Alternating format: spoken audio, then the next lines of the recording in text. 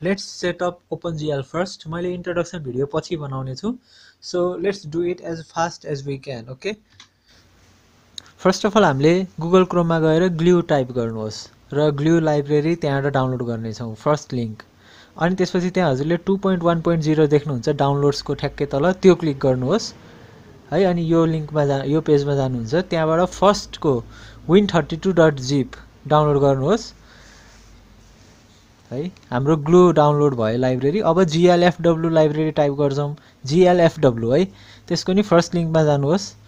र त्यसपछि त्यहाँ माथि डाउनलोड लेखेछ होइन कम्युनिटीको साइडमा। त्यहाँ गएर तल चाहिँ V six thirty two bit Windows binary download गर्नु होला। ओके? हाम्रो दुईवटा लाइब्रेरी डाउनलोड भइसकेको छ। अब हामीले यो दुइटा लाइब्रेरीलाई कुनै फोल्डरमा लगेर सेभ गरौँ है। यो दुइटा लाइब्रेरीलाई कपी गरौँ। र मेबी लो लोकल डिस्क इमा गएर म चाहिँ एउटा नयाँ फोल्डर एक्सटर्नल लाइब्रेरिज भन्ने नयाँ फोल्डर बनाएको छु। त्यहाँ लगेर मैले पेस्ट गरेँ है। र त्यसपछि यसलाई एक्सट्र्याक्ट गरौँ। यसलाई राइट क्लिक गर्नुहोस् र एक्सट्र्याक्ट हियर भन्ने क्लिक गर्नुहोस्। हजुरकोमा विन जिप छ होला। नत्र सेभेन जिप युज गर्न पनि सक्नुहुन्छ। यो दुइटा जिप फाइललाई अब फालिदिनुहोस्। है। अब यो चाहिँ यसलाई रिनेम गरौँ है। ग्लुको साटो ग्लु ग्लु मात्रै लेख्नुहोस्। जिएलएफडब्लु नि जिएलएफडब्लु मात्रै लेख्नुहोस्। अहिले पछि इन्क्लुड गर्न सजिलो हुन्छ कि यो गरेपछि? ओके हाम्रो ग्लु र जिएलएफडब्लु डाउनलोड भयो। अब हामीले भिजुअल स्टुडियो डाउनलोड गर्छौँ। मैले two thousand seventeen version download गर्न गइरहेको छु so Visual Studio older version भनेर हाने मैले गुगलमा र टु थाउजन्ड सेभेन्टिन भर्जनमा गएर डाउनलोड क्लिक गरेँ। त्यसपछि सुरुको लिङ्क होइन Visual Studio community two thousand seventeen सुरुको लिङ्क डाउनलोड गरेँ र त्यसपछि मैले इन्स्टल गरेँ। तर मेरो चाहिँ इन्स्टल चाहिँ पहिल्यै भइसकेको थियो कि त्यही भएर मैले यो गर्नु परेन। तर एउटा कुरा रिमेम्बर होइन त्यहाँ सी प्लस प्लस भनेर टिक लाउने ठाउँ हुन्छ कि त्यो चाहिँ टिक लाउन नभुल्नु होला। अनि बल्ल हजुरको C C plus plus compiler download हुन्छ। So let's open Visual Studio two thousand seventeen यदि हजुरलाई इन्स्टल गर्न केही प्रब्लम भए पछि भन्नु होला। Let's make a new project file new project है अनि कन्सोल एप होइन अब एपलाई नाम दिउँ मेबी ट्युटोरियल ओके ट्युटोरियल होइन। अब हामीले यो लोकेसन चाहिँ चेन्ज गर्नु पऱ्यो कि लोकेसन चाहिँ हाम्रो पिसीमा गएर बसेछ। लोकेसनलाई डकुमेन्ट्समा जानुहोस्। अनि भिजुअल स्टुडियो टु थाउजन्ड सेभेन्टिनमा एउटा फोल्डर बनाउनु प्रोजेक्ट भन्ने। यदि तपाईँको छैन भने है मेरो पहिल्यैबाट प्रोजेक्ट भन्ने फोल्डर छ। यसरी फोल्डर बनाउनु एउटा है। मैले परेन बनाउन सो नो नो नो भन् गरिदिए भयो। ओके सो प्रोजेक्ट्सभित्र हामीले चाहिँ हाम्रो त्यो सेभ गर्छौँ हाम्रो कोडहरू। होइन? हाम्रो चाहिँ अब नयाँ प्रोजेक्ट बन्यो है। अब यो एक्स्ट्रा कमेन्ट्सहरू फालिदिनु अहिलेलाई। माथि पनि छ फालिदिनु। अब यसलाई सेभ गर्नु है कन्ट्रोल एस गरेर सेभ गर्नु। अब त्यसपछि हामीले हाम्रो प्रोजेक्ट फाइलमा अब हामीले यो अघि एक्सटर्नल लाइब्रेरी जुन थियो नि त्यसलाई कपी गर्नेछौँ। सो एक्सटर्नल लाइब्रेरी फोल्डरलाई कपी गर्नु होइन अघि नै को ट्रान्सफर गरेको? डकुमेन्ट्समा जानु भिजुअल स्टुडियोमा जानु प्रोजेक्ट्समा गएर त्यो ट्युटोरियलको ठ्याक्कै तल चाहिँ पेस्ट गर्नेछौँ हामीले है। त्यो ट्युटोरियलको तल लेट्स पेस्ट इट सो हाम्रो लाइब्रेरीहरू हामीले प्रोजेक्टकै फोल्डरमा राख्यौँ है। सो अब हामीले चाहिँ सेटअप गर्न बाँकी छ। अब सेटअप गर्नलाई हामीले चाहिँ हाम्रो ट्युटोरियल पहिला यो ट्युटोरियल डट सिपिपी छ नि यसलाई मेन डट सिपिपी बनाऊँ है। सोर्स फाइलको तल छ है त्यो एरो छ त्यहाँ होइन? ओके सो ट्युटोरियल लेखेकोमा राइट क्लिक गर्नुहोस्। अब हामीले प्रोजेक्ट बिल्ड गर्छौँ कि ओपन जिएल लाइब्रेरीहरू कनेक्ट गर्छौँ। राइट क्लिक गरेर प्रपर्टिजमा जानु है ट्युटोरियल प्रपर्टिजमा त्यसपछि हामीले सिसी प्लस प्लस सेलेक्ट गरौँ अनि त्यसपछि जेनेरलमै हाम्रो यहाँ एडिसनल इन्क्लुड डिरेक्ट्रिज भनेर आउँछ। त्यसमा हामीले एडिट गर्छौँ। हामीले उता अब हामीले लाइब्रेरीको इन्क्लुड फाइलहरू यहाँ राख्छौँ कि अब होइन?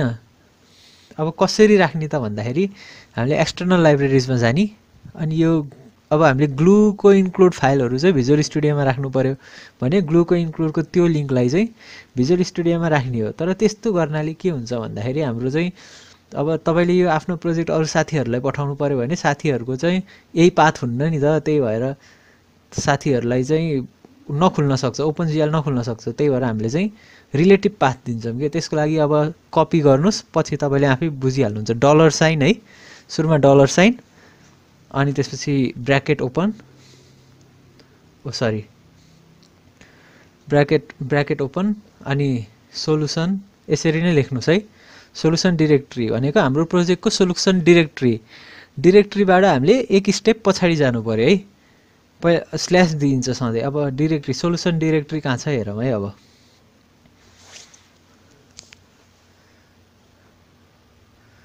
सोलुसन डिरेक्ट्री हाम्रो चाहिँ प्रोजेक्टको ट्युटोरियलभित्र यो हाम्रो सोलुसन डिरेक्ट्री हो। यसबाट एक स्टेप पछाडि जानु पऱ्यो अनि पछाडि गएर एक्सटर्नल लाइब्रेरीभित्र जानु पऱ्यो सो पछाडि गयौँ। डट डट स्ल्यास देसी एक स्टेप पछाडि जान्छ।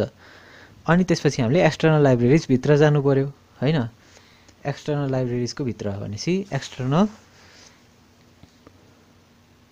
लाइब्रेरिजको भित्र जानु पऱ्यो अनि स्ल्यास अब हामीले एक्सटर्नल लाइब्रेरिजको भित्र ग्लुको भित्र जानु पऱ्यो फेरि। फेरि ग्लुको भित्र अनि त्यसपछि हामीले इन्क्लुडको मेबी इन्क्लुड अब इन्क्लुडको भित्र जानु पऱ्यो सो इन्क्लुडको भित्र। सो हाम्रो फर्स्टको सेटअप भयो। अब हामीले ग्लु सेटअप भयो। अब हामीले अर्को जिएलएफ डब्लु सेटअप गर्छौँ। सो सेम सोल्युसन डिरेक्ट्री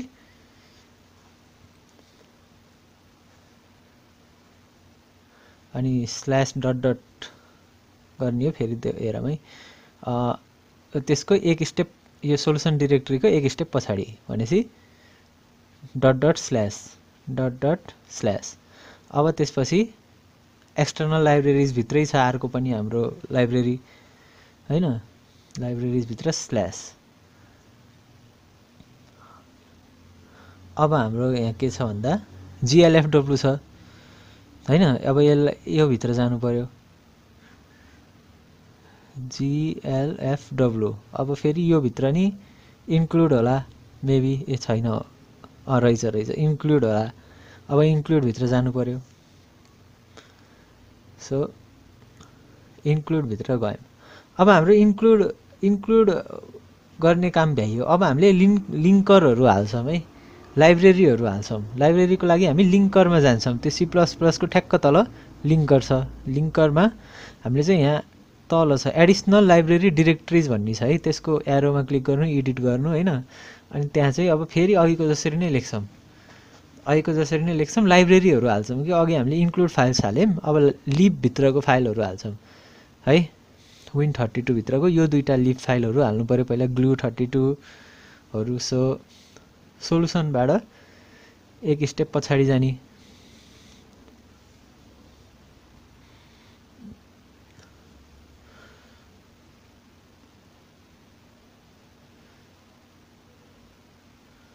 ट्रेक्ट्रीबाट एक स्टेप पछाडि भनेपछि त्यहाँबाट एक स्टेप पछाडि प्रोजेक्ट्समा। So dot dot slash dot dot slash अब हामी कहाँ जान्छौँ? एक्सटर्नल लाइब्रेरिजभित्र जान्छौँ।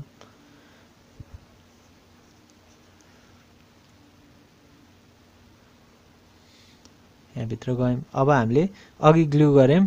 ए ग्लु नै गर्ने हो। ग्लु। जिएलइडब्लु ग्ल्युमा गयौँ। ग्ल्युमा गएर लिपमा गयौँ। अब अब लाइब्रेरीहरू हाल्ने हो नि त। लिप पछि रिलिज पछि रिलिज होइन? रिलिज पछि ए रिलिजको आर क्यापिटल बिग्रेछ। रिलिज रिलिजपछि विन थर्टी टू है? रिलिजपछि विन थर्टी टू ओके अब यो यसरी हाम्रो लाइब्रेरी फाइल एउटाको भयो ग्ल्युको अब ग्ल्याडको पनि ए जिएलएफडब्लुको पनि लाइब्रेरी फाइलहरू हाल्नु पऱ्यो होइन? सो अब अर्को अर्कोमा जा ओके। अहिलेको यसलाई कपी गरौँ माथिको सबै होइन? पेस्ट गरौँ। अब यति मात्रै चेन्ज गरे भयो कि? पाथ त त्यही हो नि त। ए ग्ल्याड होइन है। जिएलएफडब्लु है मैले झुक्केर ग्ल्याड लेखेछु जिएलएफडब्लु होइन? जिएलएफडब्लुभित्र जिएल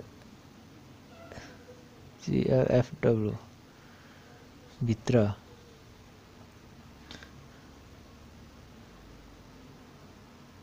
अब कुन कुन भिजुअल स्टुडियो हो भनेर हामीले टु थाउजन्ड सेभेन्टिन भर्जन हो नि त। त्यही भएर lib VC two thousand seventeen त्यहाँ फोल्डर अनुसार हुन्छ कि? So Visual Studio two thousand seventeen use गरियो त्यही भएर अब त्यहाँभित्र जानु पऱ्यो अनि त्यही भयो होइन? यो पनि भयो। है? अब इन्क्लुड नि गरियो अब लिङ्कर नि लाइब्रेरी फाइल्स नि हालियो। अब हामीले चाहिँ लास्टमा चाहिँ कुन कुन लाइब्रेरी फाइल्स हो त भनेर भिजुअल स्टुडियोलाई भन्नुपर्छ क्या सो अब हामीले कहाँ जान्छौँ भन्दा इनपुटमा जान्छौँ।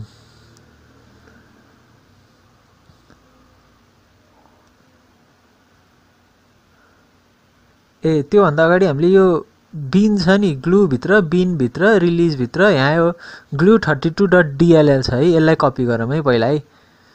सरी फर द्याट एक्सटर्नल लाइब्रेरिजभित्र ग्लुभित्र ऐको ठाउँमा होइन कपी गरेर अब हामीले प्रोजेक्टको ट्युटोरियलभित्र यो मेन मेन सिपिपी भएको ठाउँमा यहाँ प्रोजेक्टभित्र गएर पेस्ट गर्छौँ कि यो डिएलएल है बिनभित्रको डिएलएल है रिमेम्बर ग्लुको पर्छ है अर्को जिएलएफडब्लुको पर्दैन।